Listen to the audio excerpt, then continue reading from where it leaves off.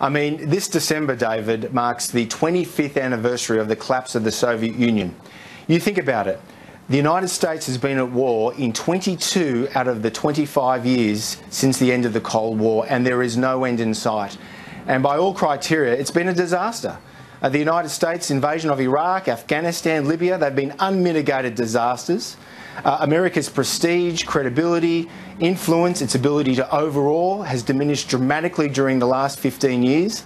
Uh, the foreign policy sure, elites have been pushing what policies like NATO expansion, which has nearly pushed Russia closer to China. Yeah, but, next but, week, next month, we're going to have but Trump joint is saying, Russian Trump Chinese. isn't saying withdraw from these battles, is he? He's Look, saying, I'm, not, yeah, uh, I'm just you know, simply we'll saying that. defeat them. Yeah, but these policies that the foreign policy elites have pushed in Washington for the last 15 years, as Trump correctly identifies, have led to a lot of disasters. The other point I'd say is, although I don't agree with Trump's critique, nevertheless, he resonates with a lot of people when he says that the foreign policy elites have pushed free trade agendas, globalisations that, among other things, have displaced the white working class. Now, Trump, I think, all things considered, is on a winner. This is a very war-weary American people we're talking about. No, yeah. I no way, shape or form uh, carry a brief for this guy. I'm just simply saying, though, it is a bit rich for the foreign policy elite in Washington to get worked up about Donald Trump when they have presided over many disasters, especially since 9 11.